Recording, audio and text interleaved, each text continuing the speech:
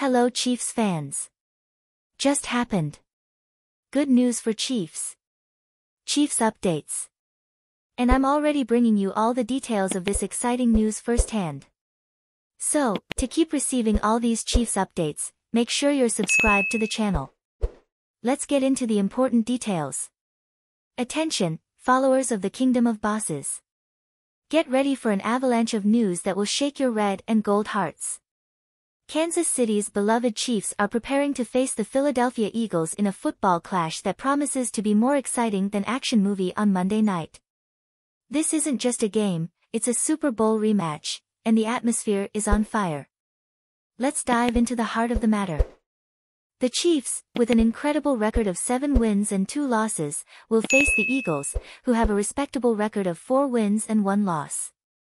But make no mistake, folks, this is no ordinary showdown.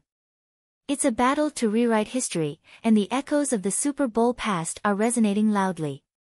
Get ready for a journey full of surprises and to support our Chiefs as they seek victory in this Monday night football spectacle that is about to begin. What about you, fan?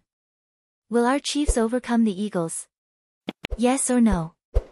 Leave your opinion in the comments below and let's discuss this topic because it's crucial for the Chiefs.